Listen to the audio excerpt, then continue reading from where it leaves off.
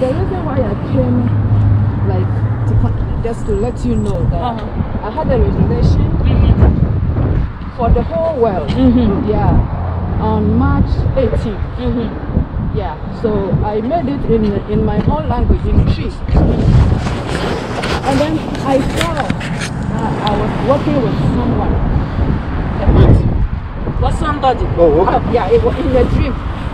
I was working with someone and he took me to a place. The place that we were going, I saw that it looked like a, a mosque, like a Muslim Mm-hmm. Mosque. mosque. So I was confused and I said, where am I going? By the time I get, when we were getting close to the, the building, I heard someone prophesying in, uh, in Jesus' name. So I was very confused. I said, hmm, what's going on? And so then I entered. When I entered, the, the person who was holding the mic and prophesying looked different in the midst of the people. And he was a little, bit, a little bit taller than everyone in the mosque. His clothes and like everything was different. So I was very confused. And when he saw me, then he said, Oh, you are here. Are you also coming to prophesy? And I said, I said, by the time I was opening my mouth, it was not prophesying, but I was sharing the word of God. So I shared the word of God, but and meanwhile, when I get there, the people who were in the room, some of them were very furious about the man, the, the words they heard. Hmm. And so when they heard mine, on top of it, they became more furious. And some of them were happy. They were enjoying that, oh, they, they, they now see the truth. Most of them were happy. And none of them can touch the guy or the man or me. No, nobody touched me. Like wanted to have marriage with me or nothing. So from there, from there he told me, he said, okay, come. So I didn't see, I don't see the man, but he was instructing me. So then I came, and when I get out in, from the mosque, he told me, go and share the word. Go and share the word. And have you seen that the sickness, that is uh, the, the pandemic, have you seen that it's all over the world? And that is how sin is going on all over the world.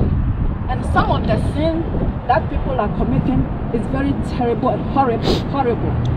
He repeated it very horrible, very horrible. I was so sad. So he told me, go and share the word and let everyone know that Jesus Christ is the Lord and Jesus is coming soon. Hmm. He said, go, even even the people, even the like the countries that are not the countries that are not uh, the countries that are not Christians country. Go there, go there everywhere. And I said, by the time I was trying to ask question, the answer comes. So he said, I, I was trying to ask, how can I go there? I'm here, how can I go there? He said, go. So I found myself in the sky like this. Arms are, were open like this, like an airplane. And I was in a country, like some big country. And then I saw uh, papers, like pamphlets, from my arms flowing on the floor. And, and people were picking it, pick- people were gathering them. And then some of them, when they pick the, the pamphlet, they get mad as those who were mad in the, in the. And some of them who pick, some pick them, and then they become happy. So I was in the sky and I saw the paper, the written on the paper, the written was black, black ink. I saw it was written, Jesus Christ is the Lord. Jesus is coming soon. So then he, he, he said, okay. I said, okay, okay, I asked questions. So whenever I wanted to ask questions, the answer comes. So I was trying to ask. I said, oh Lord, so how?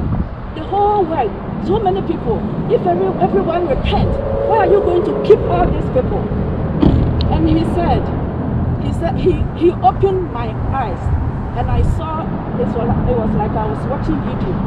It was like a laptop that you put uh, uh, double screen, like something double on it, and was showing me comparing the uh, current world and the, the world that is going to come, the new world. And I was looking, I was watching it as a video. So I saw the current world, a lot of things, so many things, so many cars. It, it was so congested. Like there's no there's nowhere for you to step. So people were confused. And then I was watching the, the current world and it was comparing it to the, the other one. That one was so calm. I couldn't see the things that is in there, but I could see that it was very huge, very calm. And I wasn't in, but I was feeling the calmness in that city, in that, that world. So then he told, he said, you see, you see there's so many places. There's no many places. You see how that world is very large? There's a place for everyone. And you know, God loved the world. God loved the world. That is why He sent His only begotten, Son, Jesus Christ, to come and die for the world. So this God doesn't want every anyone to, to get lost. God wants everybody to be saved. So that is why. So see, everyone will have a place.